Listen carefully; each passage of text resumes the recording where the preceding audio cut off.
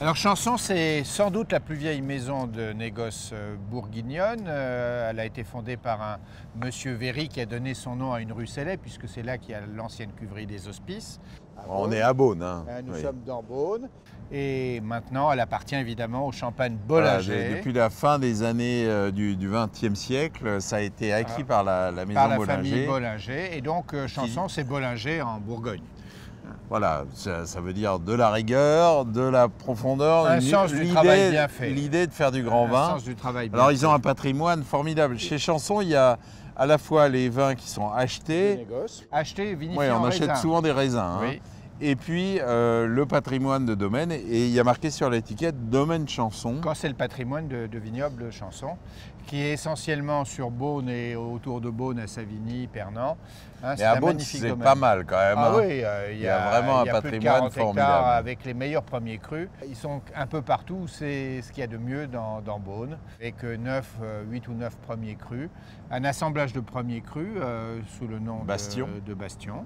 Et puis, euh, et puis euh, des premiers crus aussi euh, sur Pernan et sur Savigny, magnifiquement situés. Claude et Mouche, c'est une cuvée extrêmement connue, mais elle n'est pas en monopole. Voilà, elle Euh, existe aussi voilà, chez Chanson. euh, la- le domaine Chanson, c'est le deuxième plus gros producteur de Clos des Mouches, qui est côté Pommard. hein. c'est un premier cru très très connu, mais qui va vers Pommard et qui a cette particularité de faire de très grands blancs et de très grands rouges.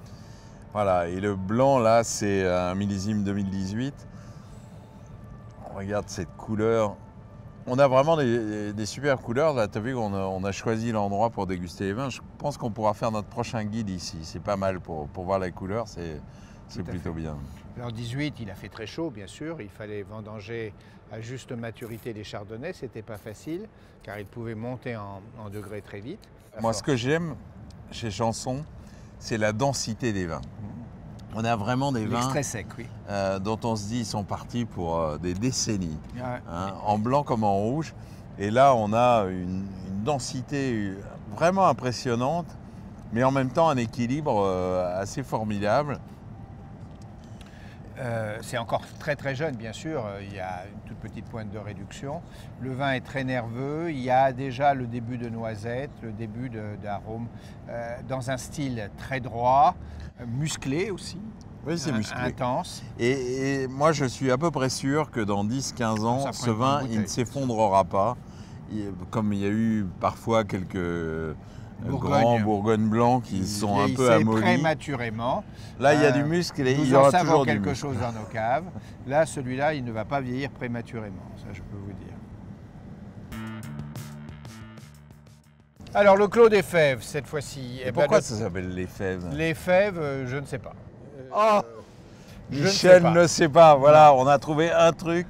Je ne sais pas. Euh, que Michel ne connaît pas. En tout cas, je n'ai jamais vu Allez, de fèves. je euh, voilà. C'est de tous les premiers crus de chanson, celui que la maison considère comme le plus noble. euh, et C'est aussi euh, celui qui vaut le plus cher. hein, mais également dans la grande tradition historique, c'est une des grandes têtes de cuvée avec les grèves hein, de, de Beaune. Et c'est depuis quelques années une succession de millésimes qui sont impressionnants de profondeur, d'intensité, de garde aussi, de potentiel de garde. Ça, hein. c'est un vin magnifique.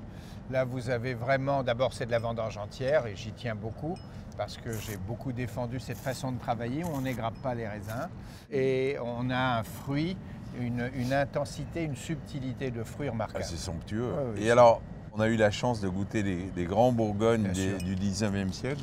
J'ai l'impression de retrouver cette pâte-là. Voilà, on retrouve euh, la pâte de, de- de- de ce qu'on faisait au début du XXe siècle. Le bois est absolument pas Non, non, on euh, on marqué. pas du tout. La maturité du raisin est parfaite. Le vin a la tendresse d'un grand beaune, mais avec une race et une pureté d'expression remarquable.